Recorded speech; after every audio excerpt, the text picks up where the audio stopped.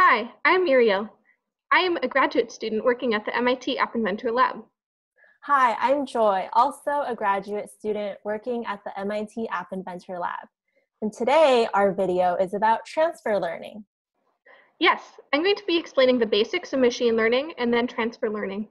Transfer learning is a special machine learning technique, and we hope that you have a strong working knowledge of it by the end of this tutorial. And I will compare two App Inventor extensions, the Look extension and the Personal Image Classifier, to demonstrate the power of transfer learning.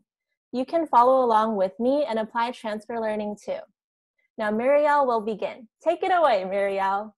Thanks. Let's get started. All right, now let me give an overview of what machine learning actually is.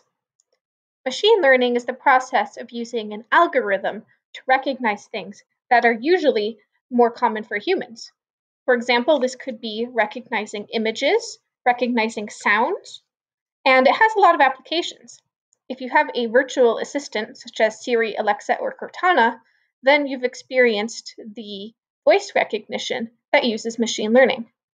Image classification is another common one, where you can use a machine to classify what an image contains, for example, a cat or a dog.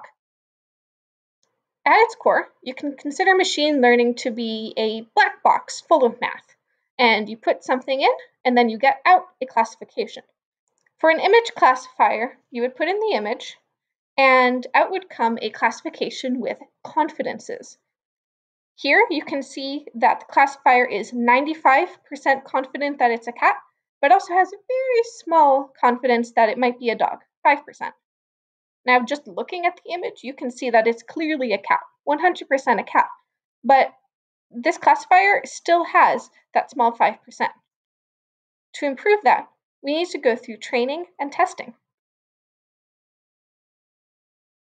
The first step is training. Here, you give the classifier images of cats and images of dogs. You give it images of everything that you want it to be able to recognize and label them. That way, the classifier can start learning what images generally look like cats and what images generally look like dogs.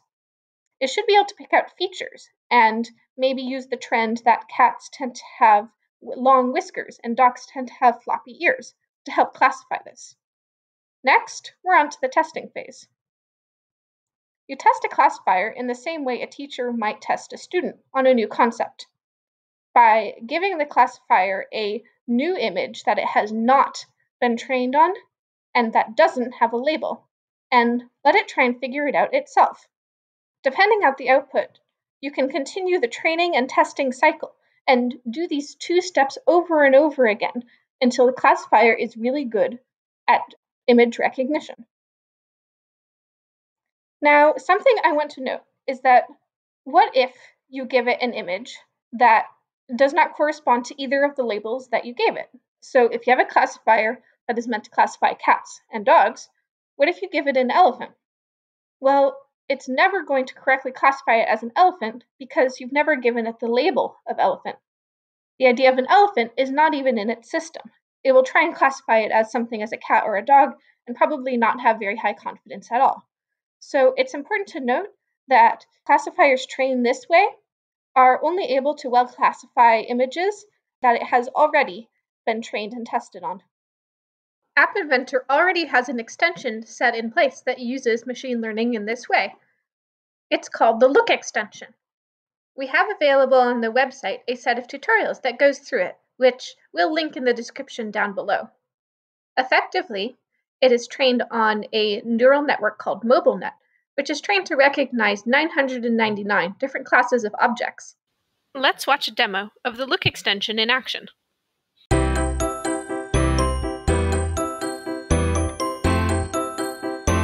Welcome to MIT App Inventor. In this video, I'm going to demo an app that uses the Look component to identify objects. The Look component is the first component that brings machine learning to App Inventor. Let's check it out.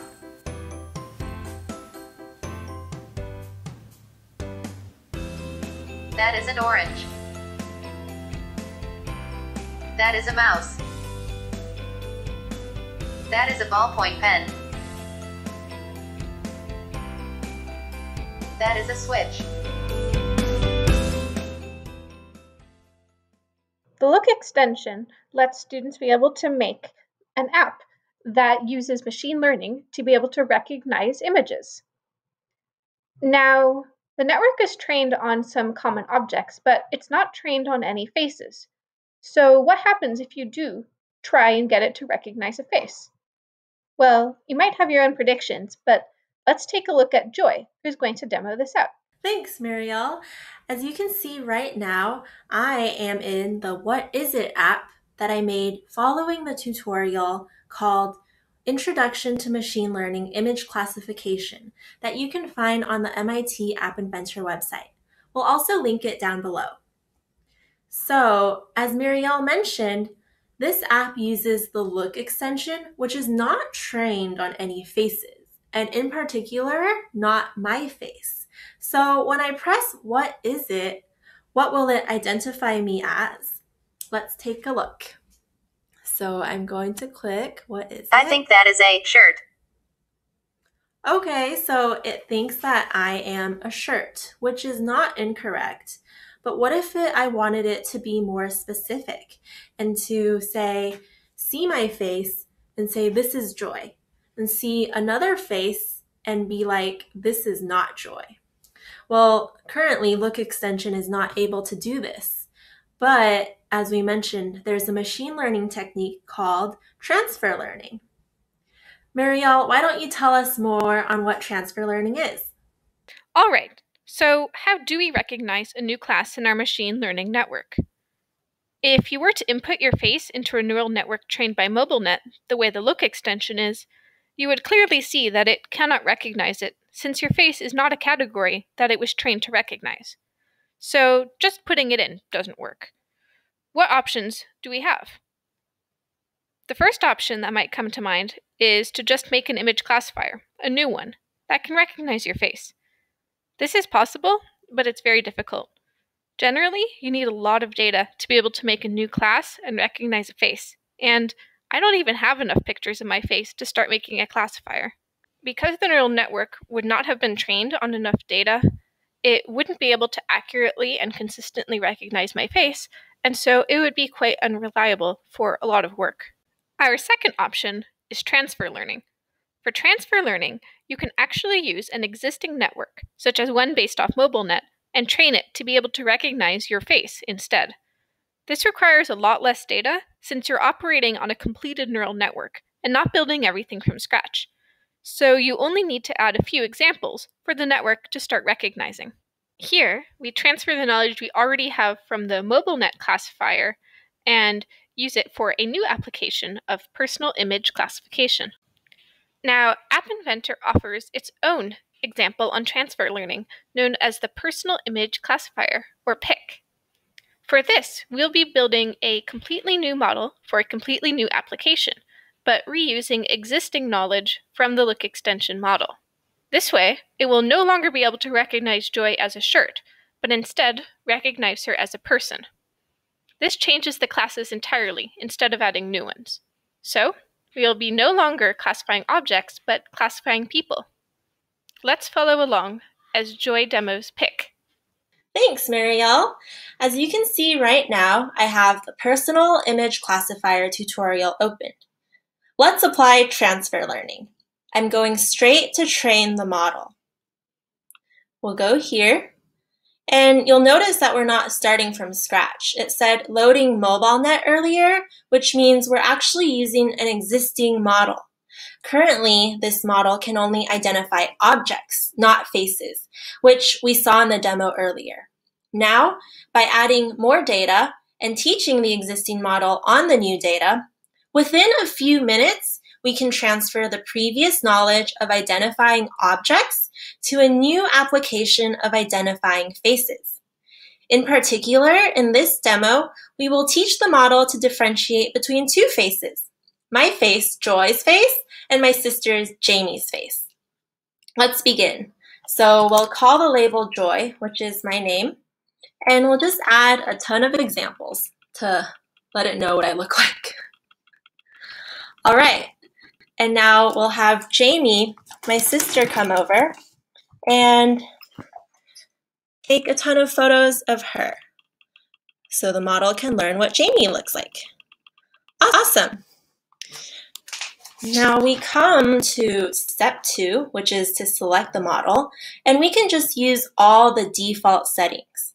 If you want to learn more about transfer learning and machine learning, you can tweak these to get even better results. Now let's train the model. We'll see that the loss will decrease, and this just means that our model is getting better and more accurate. Step number three is the testing data, which will help us see how accurate our newly trained model is. So for Joy, we'll just add some more examples and see if it can tell that I'm Joy. Now Jamie will come and we'll have some more examples of Jamie. Great. So let's view the results. Let us predict and see. Wow, so the results are quite good. With high confidence, we are all labeled correctly. Now let's download this model and use it in our App Inventor app. Now that I've downloaded my model, we're back to the tutorial page. Please feel free to follow the steps I took earlier and use your own images to make your own model. You can pause here and come back when you're ready for the next step. Okay, so now let's upload the model to our App Inventor app. We'll use the PIC app that you can download right here from the Lesson 2 Student Guide PDF. I have it open and you'll find this link to download the AIA file which you can upload. Right here, Import Project. I've already done that, so I have it open. The next step is to upload the model that we just made. So let's do that. Choose File, Model, OK, and it's uploading to the server. Awesome! All we have to do now is to connect. So now we have the app open and we are going to see how it works. First, let's take a picture of me. I'm going to classify image data and take a photo and see who it thinks it is. Wow, very high confidence joy. That's correct. Let's try Jamie now. Taking a photo. And with quite high confidence, again, it, it is correct. It has identified Jamie as Jamie. Within a few minutes, we applied transfer learning.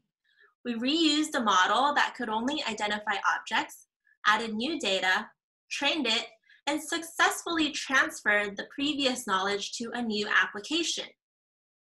Before, when it saw an image of me, it would just identify me as a shirt, but now it correctly labeled me as Joy. This is the power of transfer learning. I hope you had fun following along with the tutorial and now you can use transfer learning in your future projects. That's it for now. Goodbye.